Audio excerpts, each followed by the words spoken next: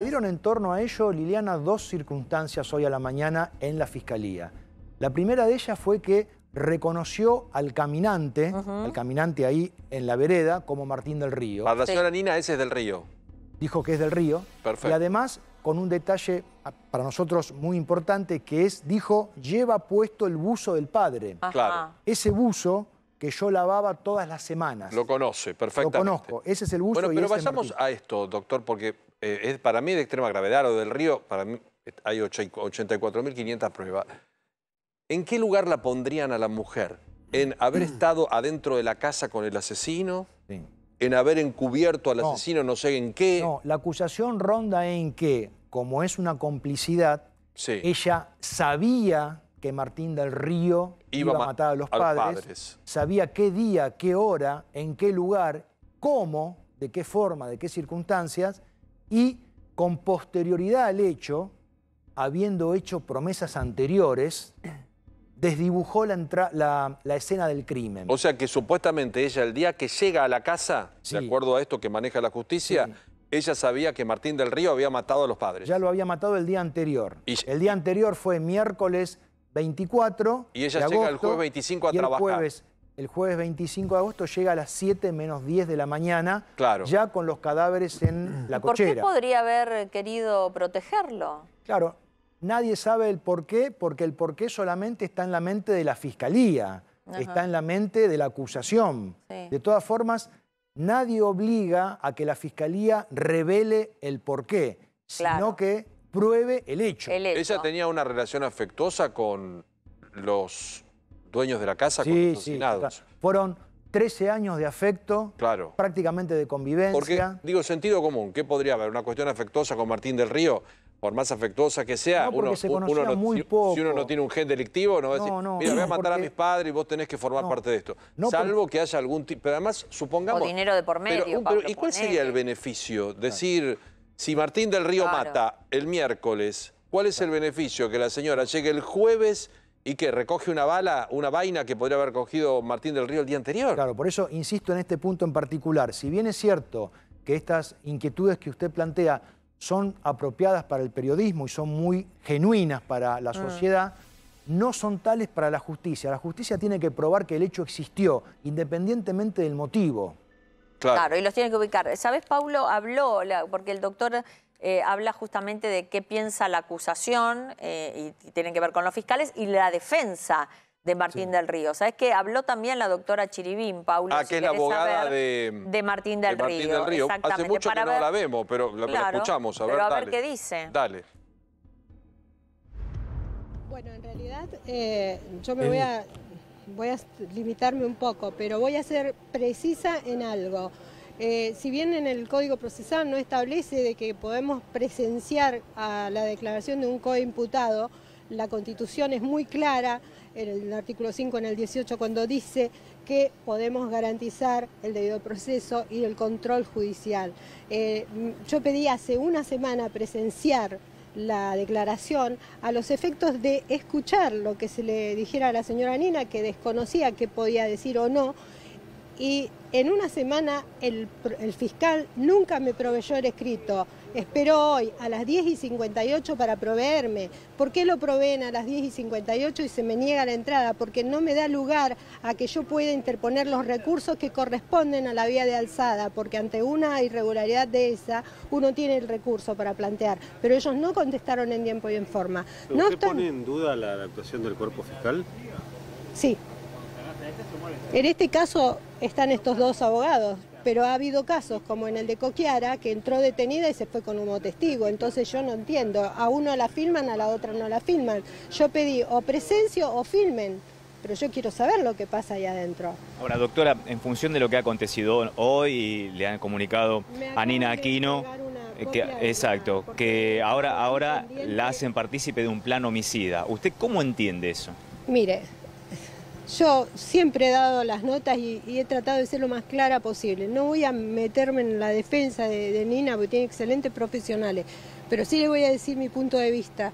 Acá se, se maneja las fiscalías en bloque y lo hacen de una forma muy desprolija, porque no podemos tener dos personas imputadas, meses, meses como han estado, y ahora salimos con una participación necesaria para esta mujer. ¿Cuáles son los motivos? No los conozco. O sea, ¿No, tiene fundamento eh, que se le acuse de, como partícipe necesaria? No, no, no, sería, no sería coherente, de acuerdo a que si a ella había sido imputada en un horario de la noche, mal podría estar imputada con Martín del Río, que fue imputado a las 7 de la tarde. Entonces, empiezo por las imputaciones porque desconozco concretamente cuál es el, la, el cambio en la, fáctico que hay para cambiar la imputación. Bueno, acá la abogada de, de, de Del Río no algunas, cambia demasiado algunas porque... cosas tiene razón. Pero Del Río no se beneficia en absoluto. Supongamos que No. la señora Nina tenga algo que ver. No es que se descarga en él lo que se carga en ella. Claramente. No. Yo digo que algunas cosas tiene razón porque es cierto que la acusación fáctica es un poco técnico, pero las pruebas que se usaron contra Nina hoy son las mismas que se usaron cuando fue detenida El en primer agosto. día. Claro. No varió Nada. No hay ningún elemento de prueba nuevo, Nuevo. que la traigan al proceso como cómplice más, del parricidio. Creo, doctor, que al principio cuando la detuvieron era más todavía, era la- casi la autora, porque no se sabía, no había otra persona Hasta detenida, entonces era era, la principal sospechosa. ¿Y qué le dice ella? Porque me imagino la desesperación de esta mujer. Pobre mujer. Bueno, está en una situación muy endeble. Sí. No puede salir del shock.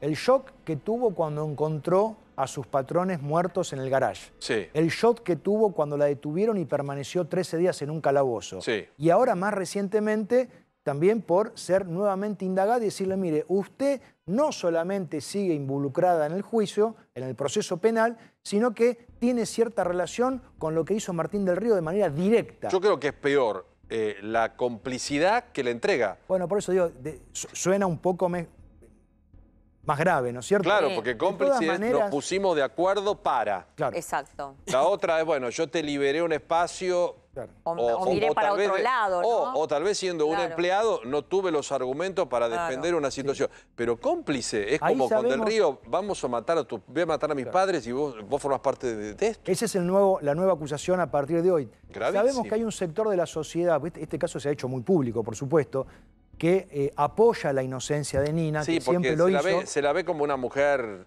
Endeble, transparente, Ah. pero con mucho carácter, pues está harta también. pero con mucho carácter. Está harta. Entonces, a esa, a esa sociedad podemos decirle que nosotros no vamos a permitir que la detengan nuevamente. Estamos, todo el equipo de mi estudio está ¿Usted trabajando teme, en que, función. ¿Usted teme que la pueden detener? No, tememos que puedan pedir la detención, pero estamos preparados para conservar la libertad de la Nina. dígame una cosa, doctor, con una mano en el corazón, yo sé que usted es el abogado defensor, me imagino que en algún momento, no sé cómo es el vínculo de, de abogado con, con, este caso, una persona que lo contrata. ¿Usted tiene la certeza y habló con ella a calzón quitado y está convencido que ella no tiene nada, nada que ver con esto? absolutamente, absolutamente, absolutamente, que no tiene ninguna relación con el hecho investigado. Absolutamente Y digamos ninguna. que la supuesta complicidad, según la fiscalía, es que permaneció en la casa dos horas con las personas fallecidas, según ellos sabiendo que estaban muertos. Y Sab- según y- la señora Nina sabiendo que no, no- dónde estaban, no tenía ni idea dónde estaban. Y sabiendo que el día anterior el hijo iba a matar a los padres. Es muy... Sabiendo que el día Bueno, y anterior... a- acá la clave, acá la clave es ese señor del río también. Sí. Porque ese señor del río, yo, yo la veo ahí a la abogada, que en algún- muchas veces vino acá, y en algún momento yo le decía, doctora, usted vio como en el fútbol, eh, me rajan a mí, pero quiero que se lleven a otro al vestuario. Porque parecía que querían involucrar, en un caso a la señora, al amante, en otro caso había dudas sobre la señora Nina, era como siempre que había alguien más.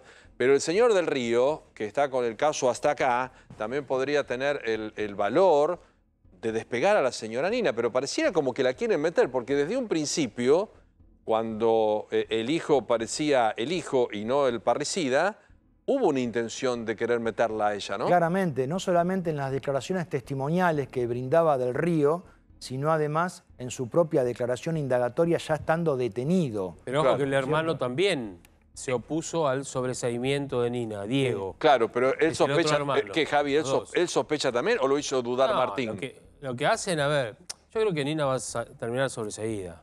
El trabajo que está haciendo Carribero es, en pos de eso y Lo vamos a va lograr, Javier. por eso. Estamos, estamos muy lo- seguros de eso. Yo creo que lo va a lograr. Sí, sí, pero, además, claramente. pero además de eso, los fiscales, a ver, tienen que agotar toda la instancia para sobreseer a alguien. Todas. Y yo creo que están en camino a eso. Sí. La realidad Bueno, es esa. pero- Hoy declaró Nina y, por ejemplo, en un momento determinado, este, Lili este, dijo que ella reconocía la ropa y La ropa y la Sí, forma de caminar. Pero perdón, que porque por yo te noto con mucho, y el buzo, ¿no? con mucho optimismo, pero lo escucho al doctor y si yo soy, bueno, yo si yo soy el- el- la Niña persona defendida por el doctor y me dice, mira, Claro. deja de ser entregador y pasa a ser cómplice, estoy peor que, que ayer. No, no, de ninguna manera, no, no, de, de ninguna Pero no ha manera. cambiado la Pablo, situación de ella. A ¿Por ver, qué? nosotros hemos logrado la libertad de Nina en 13 días.